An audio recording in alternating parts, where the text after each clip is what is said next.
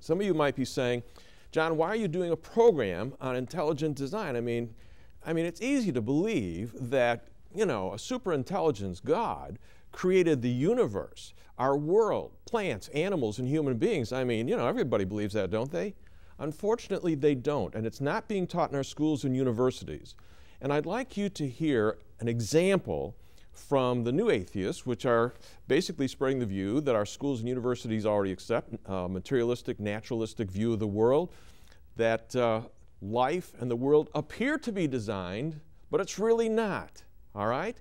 And here's Richard Dawkins talking about this. There's a garden, but no gardener. It looks designed, but it's not designed. I'd like you to listen. When we go into a garden and we see how beautiful it is, and we see colored flowers and we see the butterflies and the bees. Of course, it's natural to think there must be a gardener. Any fool is likely to think there must be a gardener. The huge achievement of Darwin was to show that that didn't have to be true.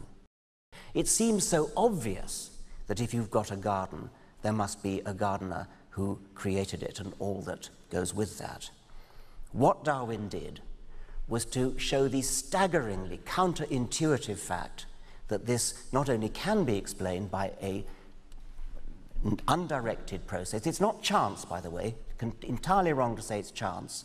It's not chance. Natural selection is the very opposite of chance, and that's the essence of it. That was what Darwin discovered.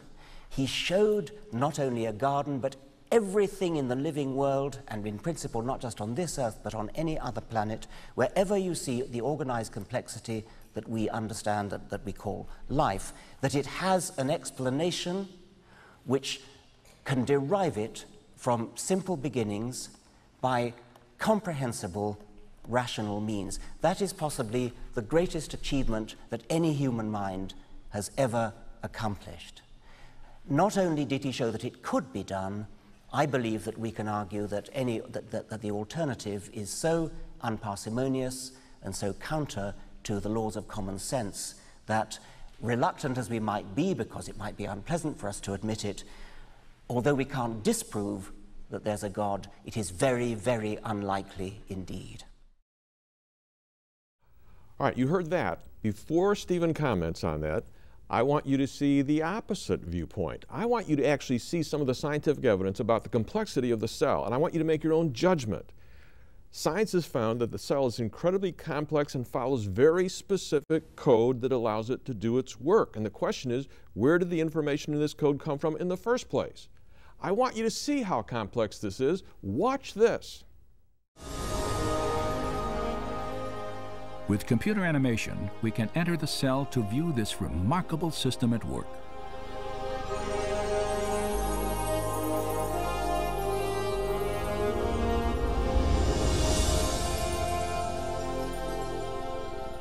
After entering the heart of the cell, we see the tightly wound strands of DNA, storehouses for the instructions necessary to build every protein in an organism.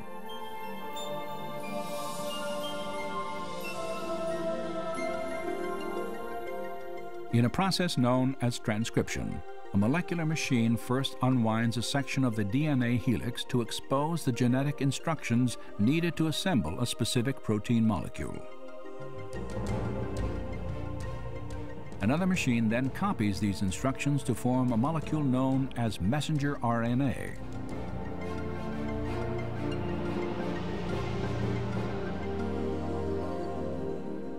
When transcription is complete, the slender RNA strand carries the genetic information through the nuclear pore complex, the gatekeeper for traffic in and out of the cell nucleus.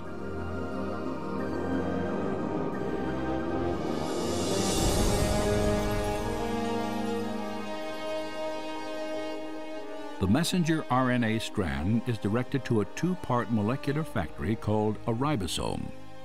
After attaching itself securely, the process of translation begins.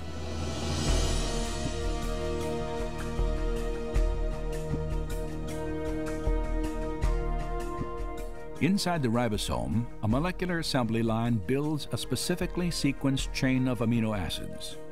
These amino acids are transported from other parts of the cell and then linked into chains often hundreds of units long. Their sequential arrangement determines the type of protein manufactured.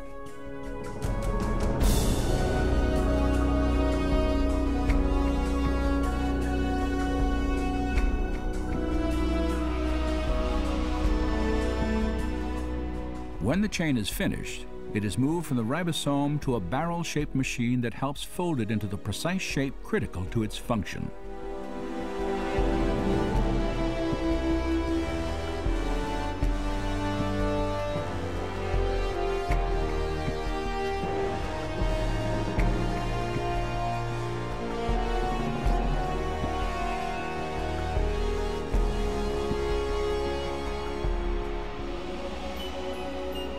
After the chain is folded into a protein, it is then released and shepherded by another molecular machine to the exact location where it is needed. Now, folks, what you are watching was what happens in one cell. And you have trillions of cells in your body, and that stuff is going on right now. The fact is, do you think that that just appears to be designed or it is designed? Does it show intelligence to you? This has been an ATRI production.